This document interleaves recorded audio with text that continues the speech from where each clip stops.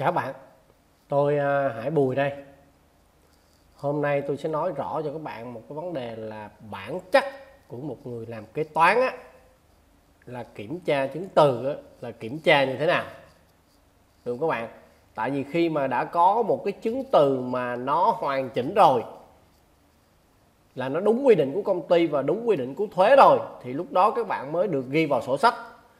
Còn nó chưa đúng thì không có được ghi được không các bạn? Tức là nó phải đúng quy định của công ty, mình ban hành, công ty duyệt rồi. Thì sau đó các bạn xem cái chứng từ đó, nó có phù hợp quy định của thuế không? Để chúng ta tối ưu về thuế. Thì lúc đó chúng ta mới tiến hành ghi vào sổ sách. Còn nếu đã đúng quy định của công ty, nhưng mà không đúng quy định của thuế, thì các bạn cũng vẫn được ghi vào trong sổ sách. Nhưng mà cái lúc này các bạn sẽ không được tính vào chi phí hợp lý và không được khấu trừ VT đầu vào. Phút này các bạn sẽ bị thiệt hại về thuế thôi. Còn nó đã đúng quy định của công ty. Đã đúng quy định của công ty, tức là xếp duyệt rồi. Được không? Nhưng mà nó không cái đủ cơ sở pháp lý để thuế chấp nhận được khấu trừ VT đầu vào cũng như được tính vào chi phí hợp lý. Thì chúng ta 100% cũng vẫn phải ghi vào trong sổ sổ sách được chưa? Như vậy kế toán á, là chúng ta ghi vào sổ sách dựa vào chứng từ mà thực tế đã xảy ra. Nó đúng quy định của công ty xếp duyệt là phải ghi vào trong sổ sách. Còn nó có phù hợp quy định của thuế không? Thì cái đó chúng ta làm thêm thôi.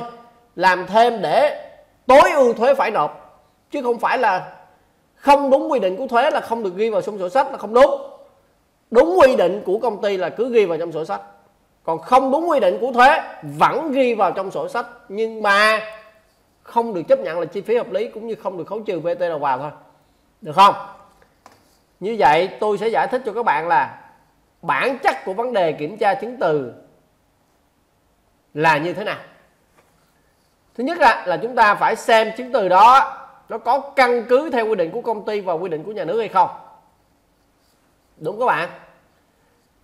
Đúng chưa? Khi chúng ta cầm trên tay một bộ chứng từ chúng ta xét duyệt chúng ta kiểm tra xem nó có đúng quy định của công ty và quy định của nhà nước hay không. Rồi rõ chỗ này chưa? Quy định của công ty. Đúng quy định của công ty và đúng quy định của nhà nước hay không? Hai ý. Được không? Hai ý. Quy định của công ty tức là công ty mình ban hành ra những quy trình, quy định những cái mẫu biểu. Thì nghiệp vụ đó xảy ra thì các bạn phải làm theo quy trình quy định và mẫu biểu của công ty. Đó là quy định của công ty. Còn quy định của nhà nước á, là về thuế giá trị gia tăng, thì bắt buộc chúng ta phải làm sao? Muốn được khấu trừ vt đầu vào, thì cái nghiệp vụ đó phải có hóa đơn giá trị gia tăng phục vụ cho hoạt động sản xuất kinh doanh của công ty. Còn về thuế thu nhập doanh nghiệp, để một khoản chi phí được chấp nhận là chi phí hợp lý, thì cái nghiệp vụ đó nó phải có hóa đơn giá trị gia tăng và từ 20 triệu đồng trở lên là phải chuyển khoản. Tức là hóa đơn nó từ 20 triệu đồng trở lên là phải chuyển khoản. Thì mới được thuế chấp nhận là chi phí. Còn nếu có hóa đơn mà thanh toán bằng tiền mặt từ 20 triệu đồng trở lên thì thuế cũng không chấp nhận. Đó là quy định của nhà nước. Rồi các bạn rõ chưa? Ok. Rồi tôi ví dụ cho các bạn xem đây nè.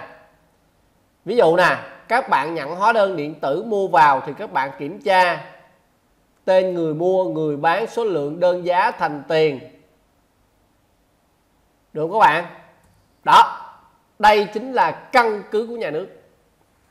Rồi các bạn rõ chưa?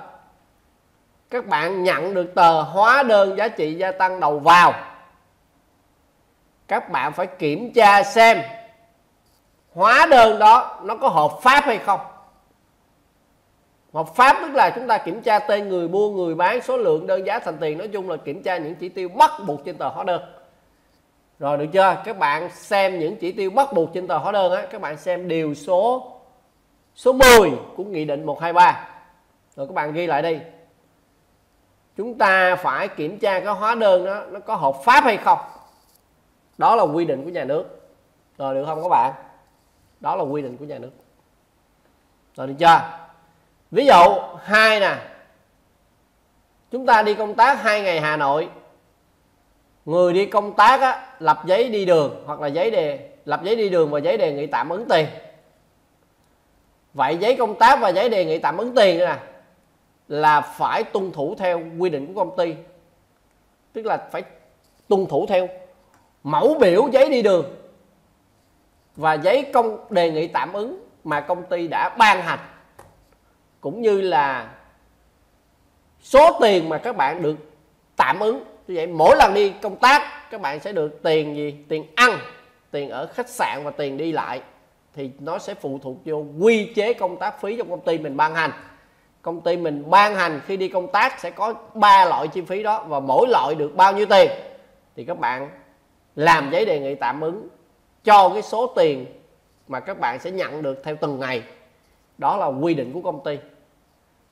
Rồi các bạn rõ chưa? Các bạn phân biệt được cái cách kiểm tra chứng từ tuân thủ theo quy định của công ty và quy định của nhà nước chưa các bạn? Cầm trên tay bộ chứng từ làm cho tôi hai cái việc này thôi là các bạn làm được kế toán. Bộ chứng từ đó về mẫu biểu chữ ký, nó đã đầy đủ hay chưa? Nó đã đúng quy định của công ty hay chưa? Cầm trên tay bộ chứng từ xem coi. Bộ chứng từ đó nó đã tuân theo những cái mẫu biểu mà công ty ban hành hay chưa? Cũng như những cái chính sách mà công ty đã ban hành hay chưa? Được các bạn? Và mẫu biểu đó đã đầy đủ chữ ký xác duyệt hay chưa? Đó là kiểm tra theo quy định của nhà nước. Rồi tiếp. Nếu mà cái bộ chứng từ mà các bạn đang cầm trên tay á, mà nó có tờ hóa đơn thì 100% nhà nước quản lý hóa đơn mà thì chúng ta phải xem cái hóa đơn đó đó. Nó có hợp pháp hay không? Nó có thực tế. Hàng hóa mua thực tế với lại tờ hóa đơn nó có giống nhau 100% hay không? Thực tế mua hàng A, mua mặt hàng A thì hóa đơn phải viết mặt hàng A. Chứ không phải thực tế mua mặt hàng A mà hóa đơn nhặt nhận là mặt hàng B là không được. Thực tế mua của công ty ABC thì hóa đơn phải là công ty ABC viết. Chứ không phải thực tế mua hóa đơn mua hàng của công ty ABC mà hóa đơn của công ty Nguyễn Hoàng xuất là không đúng. Như vậy hóa đơn nó không hợp pháp. Vậy các bạn hiểu hóa đơn hợp pháp chưa? Như vậy các bạn mở cái nghị định 123 ra, các bạn xem cái định nghĩa về hóa đơn hợp pháp để chúng ta biết được. Hóa đơn hợp pháp đó là hóa đơn phải tuân thủ. Hóa đơn thứ nhất là, hóa đơn đó là phải làm sao? Thực tế có xảy ra thực tế có xảy ra. Và phải viết đầy đủ những chỉ tiêu bắt buộc trên tờ hóa đơn. Được không các bạn? Thực tế có xảy ra. Và hóa đơn nó phải viết đầy đủ những chỉ tiêu bắt buộc trên tờ hóa đơn. Như thế nào là những chỉ tiêu bắt buộc thì các bạn mở cái nghị định 123 ra chúng ta xem. Cái điều số 10 của nghị định 123 những chỉ tiêu bắt buộc trên tờ hóa đơn. Được không các bạn? Và hóa đơn đó nó phải làm sao? Nó phải đúng với thực tế nha. Mua mặt hàng A thì hóa đơn phải là mặt hàng A. Mua của công ty ABC thì hóa đơn đó phải là của công ty ABC rồi được chưa? Như vậy hy vọng cái video này sẽ giúp cho các bạn biết được cái nguyên tắc kiểm tra chứng từ là gì, bản chất của kiểm tra chứng từ là gì. Chúng ta làm hai việc. Xem bộ chứng từ đó, nó có đúng theo mẫu biểu và quy định của công ty mình đã ban hành hay chưa, đã đầy đủ chữ ký hay chưa cái thứ hai, nếu mà cái bộ chứng từ đó nó là có cái tờ hóa đơn giá trị gia tăng ở trong đó, thì chúng ta phải xem hóa đơn đó nó có hợp pháp hay không. Thì chúng ta mở ra cái nghị định 123 về hóa đơn điện tử cũng như thông tư 78 về hóa đơn điện tử để chúng ta xem định nghĩa hóa đơn hợp pháp là gì, để chúng ta nắm thật vững. Chúng ta nắm vững quy định của công ty và quy định của thuế thì tôi đảm bảo các bạn sẽ kiểm tra tốt về mặt chứng từ rồi hy vọng video này sẽ giúp cho các bạn làm tốt cái công tác kiểm tra chứng từ nha. Các bạn à, muốn rõ hơn muốn mà nắm vững về mặt kế toán á nắm rõ về bản chất kế toán thì chúng ta lên trang sách kế toán này. Chúng ta đọc cho tôi cái bộ này bí quyết tự học kế toán này các bạn. Để chúng ta nắm rõ bản chất của kế toán là gì. Được không các bạn? Để từ đó chúng ta tự tin chúng ta hạch toán nợ có. Rồi cảm ơn các bạn. Hẹn các bạn trong những video tiếp theo nha à, quên. Thì các bạn à, muốn mà theo dõi kênh của tôi bằng cách lên kênh youtube này. Các bạn gõ từ khóa là tự học kế toán. Bấm vào đây. Tự học kế toán. Các bạn bấm tấn hải bùi nè. Đó các bạn bấm tấn hải bùi. Rồi các bạn bấm vào những cái video mà các bạn xem đây nè các bạn. Thì ở bên dưới nó có từ đăng ký kênh này các bạn bấm đăng ký kênh. Và nhớ bấm vào cái chuông bên cạnh để mỗi lần tôi ra video thì nó sẽ thông báo ở trên đây nè. Được chưa?